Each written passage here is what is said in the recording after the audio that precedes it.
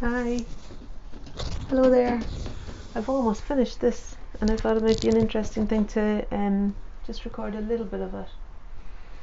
Um, I'm writing an article on the artist uh, for the Artist and Illustrator magazine on looking up and I was trying to figure out a way of um, finding uh, of painting myself looking up and so I've balanced a couple of mirrors here one against the wall and one on my knees and somehow I'm able to see myself now upside down but as though I'm looking up. And so I'm drawing this upside down face. It's actually worked out very nicely for me because I don't have to move my head or anything to see the angle that I'm um, looking at myself. Just introducing a darker brown now to establish some of the more some of the darker bits. I can actually see two images of myself down there one on the, in this mirror that's um, kind of looking up as well. They're both the same really. Anyway I'm looking at this one that's closest to my um, to my paper. It's not actually closest. Forget all that. Anyway I'm just drawing myself upside down. Somehow the way the mirrors are working for me. I can't really figure it out. But um so what I'm doing now is just establishing the general areas of, of dark tone I think there's a book called yeah drawing on the right side of the brain. I forget the author no I'm sorry.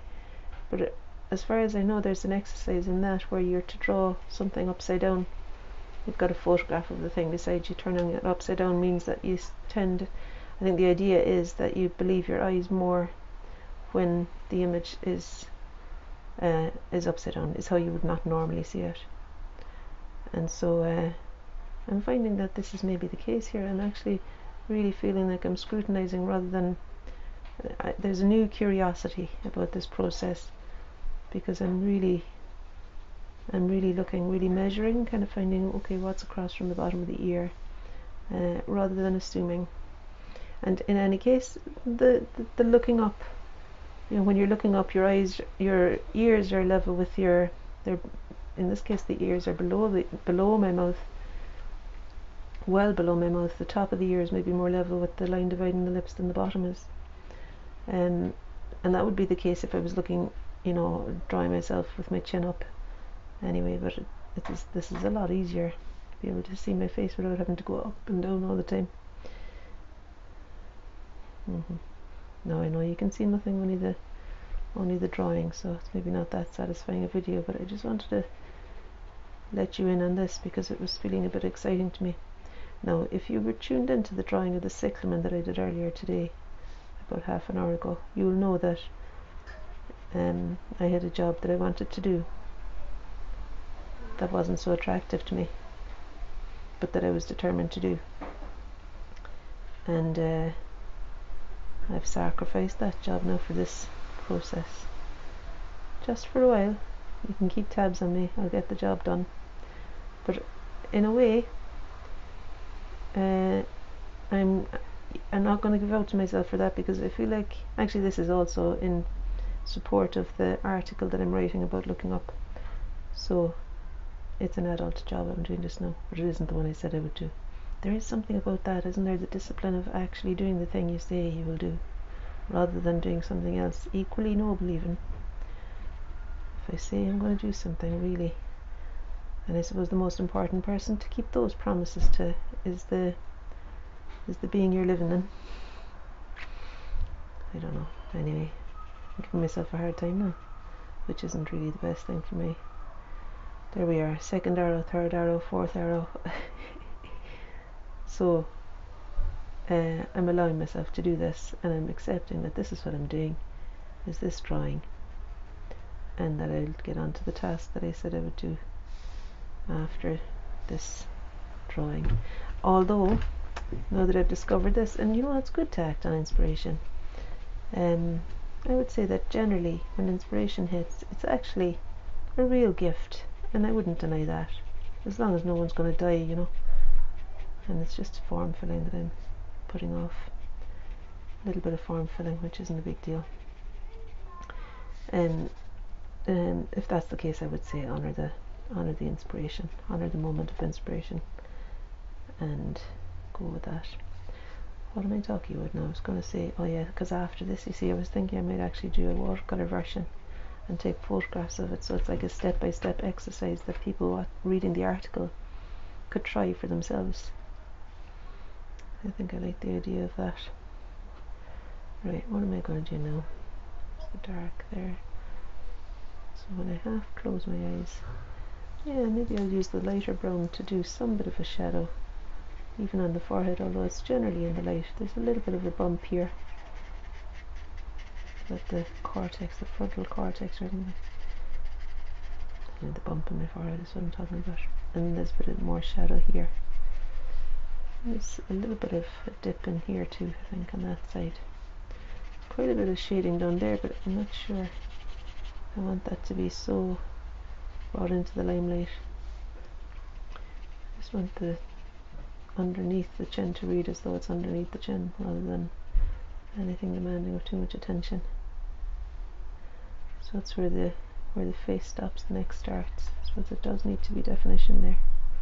I'm going to have numb, numb legs when I stand up. These are drawings I've been doing on my knee. I've been at it for a wee while now too, so I'll probably be staggering around for half an hour after this. Not half an hour, a few minutes. Right. And Gloria Gaynor is still in my head.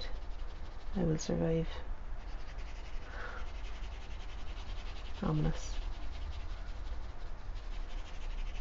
I'd say I might be done with this. I'm kind of excited to try it in colour. And for the colour version, I might do the head that's closer to me in this. There's a head in this mirror that I'm seeing, and there's a head in that mirror over there. And the one I've done just now is the one in the mirror over there. For the next one where I'm doing the watercolor I think I'll do the, mirror, uh, the, the head that's closest to me here. I don't know if this is going to read as being too long because I'm drawing it facing away from myself.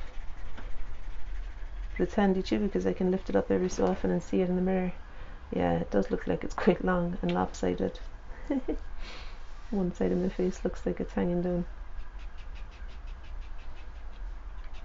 but that's alright. I think maybe it kind of does anyway. A bit of a tilt in my head too today.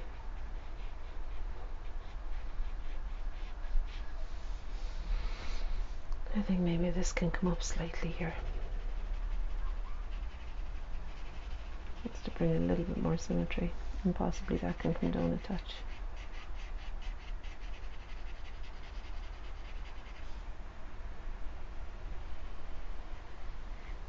It's a good fun thing to try though. And I suppose I could add a bit of hair on this side too so that the lopsidedness balanced a wee bit.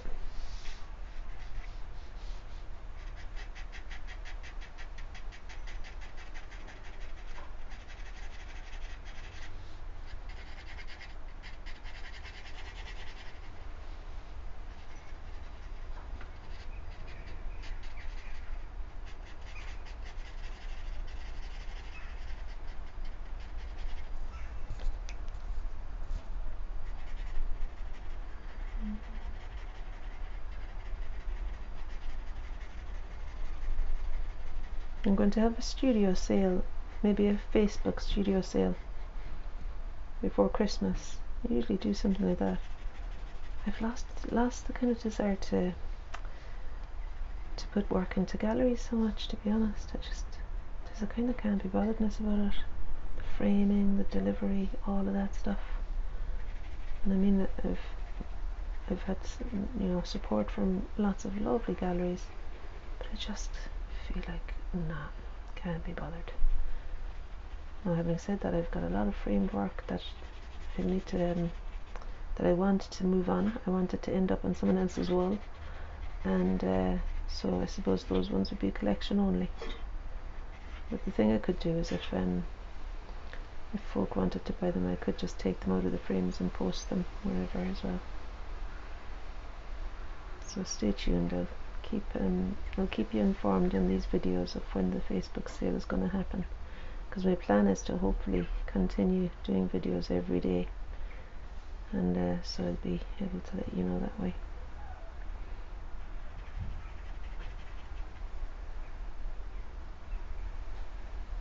The other way I'll let you know is through the newsletter so if you want to subscribe to that let me know. It's an email every three or four weeks. Or five or six weeks, depending on the form.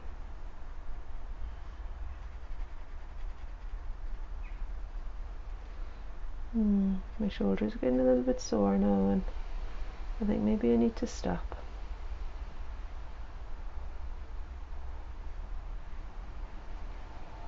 I think maybe I need to stop.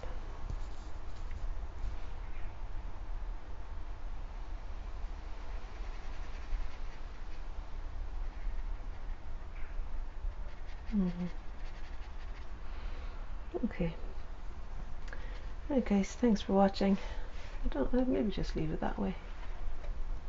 There I am. Am I? Kinda. It's an unusual exercise. Slightly wonky, but interesting at the same time. So, oh, just fell down. Thank you. Nice to see you. Maybe there'll be a watercolor version of this. I'm not sure. Do you see me there? Yeah. There might be a watercolor version of it. Let's see how I get on with it. Alright, all the best. Bye.